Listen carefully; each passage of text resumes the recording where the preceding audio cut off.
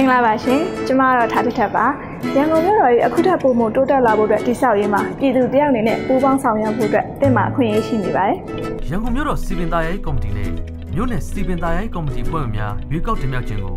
2019ခုနှစ်မတ်လ31ရက်နေ့မှာကျင်းပပြုလုပ်သွားမှာဖြစ်ပါတယ်။လာမယ့်31ရက်နေ့မှာကျင်းပမယ့်ရန်ကုန်မြို့တော်စီပင်သားရရွေးကောက်ပွဲကိုအသက်16နှစ်ပြည့်ပြီးတဲ့သူတိုင်းမဲပေးခွင့်ရမှာဆိုတော့ကိုယ်နေထိုင်တဲ့ရန်ကုန်မြို့ရဲ့အနာဂတ်ကို ကိုယ်တိုင်ရွေးချယ်ပါဝင်ဆုံးဖြတ်ခွင့်ရမယ့်အခွင့်အရေးဖြစ်ပါတယ်။ ကိုယ်နေထိုင်တဲ့မဲဆန္ဒနယ်မှာဘယ်သူတွေကပါဝင်ရှင်ပြိုင်မလဲဆိုတော့ကိုယ့်ဘက်ကလေ့လာဖို့မမေ့ပါနဲ့နော်။ဒါမှလည်းဘယ်သူတွေကိုကိုကကော်မတီဝင်ဖြစ်ရွေးချယ်တင်မြှောက်ခွင့်ရမယ်ဆိုတာသိရမှာဖြစ်ပါတယ်။ဒီစိုးဆုံးထုတ်မှုတွေအမိုက်သိမ်းစီခြင်းတွေပြီးတော့လမ်းပိတ်ဆို့မှုစတဲ့အကျိုးသက်ရောက်မှုတွေကကျမတို့ရန်ကုန်မြို့မှာနေထိုင်တဲ့ပြည်သူတွေအတွက်အရေးကြီးတဲ့အခန်းကဏ္ဍတစ်ခုကနေပါဝင်တယ်လို့ယူဆရဆိုရင်တော့လာမယ့် March 31ရက်နေ့မှာကျင်းပမယ့်ရန်ကုန်စီမံသားရရွေးကောက်ပွဲကိုအသက်16နှစ်ပြည့်ပြီးတဲ့သူတိုင်းမဲဆန္ဒပေးဖို့အတွက်တိုက်တွန်းလိုက်ပါရရှင်။